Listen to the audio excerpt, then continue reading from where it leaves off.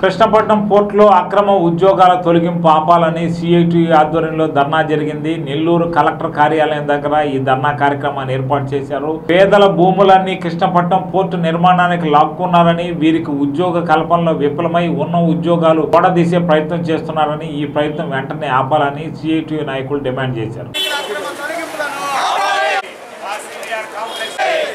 కార్మికులకు ఇంక్రిమెంట్ వెంటనే కృష్ణాపట్నం పోర్టులో కార్మికులపై వేధింపులను కార్మికులపై వేధింపులను అరికట్టాలి. కార్మికులందరికీ ఉద్యోగ భద్రత కల్పించాలని కృష్ణపట్నం పోర్టులో కార్మిక చట్టాలు అమలు చేయాలని ఎనిమిది గంటల పని విధానాన్ని అమలు చేయాలని గత కొన్ని సంవ- కొన్ని నెలలుగా ఆందోళన నిర్వహిస్తున్న యాజమాన్యంలో ఏమంత మార్పు కూడా కనపడడం లేదు. జిల్లా అధికార యంత్రాంగం కార్మిక శాఖ అధికారులు దాని ఏదో పట్టించుకోకుండా వదిలేసిన కార్యక్రమంగా చేస్తూ ఉన్నారు.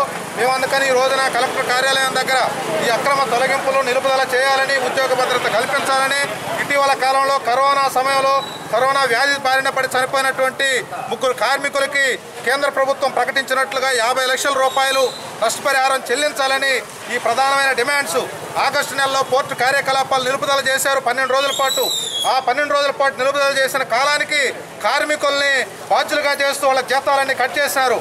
కానీ జీతాల్లో ఎటువంటి కోత లేకుండా ప్రతి కార్మికుడికి వాళ్ళకి ఇవ్వాల్సినటువంటి పూర్తి వేతనాలు అందజేయాలని చెప్పేసి గత నాలుగు సంవత్సరాలుగా ఎటువంటి ఎదుగు బదుగు లేని జీతాలు ఇంక్రిమెంట్ లేకుండా నిలుపుదల చేస్తున్నారు. నాలుగు సంవత్సరాల కాలానికి పెరిగిన ధరలకు అనుగుణంగా వాళ్ళ ఇంక్రిమెంట్లు వేయాలని చెప్పేసి ఇది ఒక ఇంక్రిమెంట్లు ప్రధాన డిమాండ్గా ఈరోజు మేము ఈ కలెక్టర్ ఆఫీస్ ముందు ధర్నా నిర్వహిస్తున్నాం.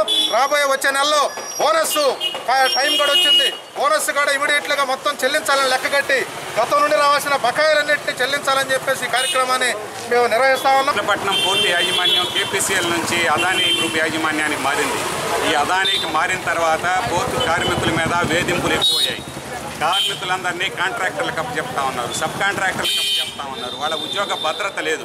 పైపెచ్చు కరోనా వల్ల వాళ్ళకి కరోనా సోకి వాళ్ళ కుటుంబాల్లో కరోనా వచ్చి రెడ్ జోన్లుగా ప్రకటించి కంటైన్మెంట్ జోన్లుగా ప్రకటించిన దానివల్ల డ్యూటీలకు రాకపోతే మీరు డ్యూటీలకు రాలేదు కాబట్టి మిమ్మల్ని తొలగిస్తామని చెప్పేసి ఈరోజు టెర్మినేషన్ ఆర్డర్లు ఇస్తా ఉన్నారు.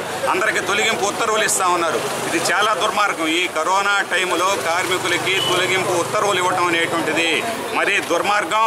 వెంటనే వాటిని వెనక్కి తీసుకోవాలి. తొలగించినటువంటి కార్మికులందరినీ పనిలో పెట్టుకోవాలని చెప్పేసి మేము డిమాండ్ చేస్తా ఉన్నాం. కృష్ణపట్నం పోర్టులో కార్మిక చట్టాలు అమలు కావట్లేదు. ఎనిమిది గంటల పని విధానం అమలు కావాలి. కనీస వేతనాలు అమలు జరపాలి. బోనస్ ఇవ్వాలి.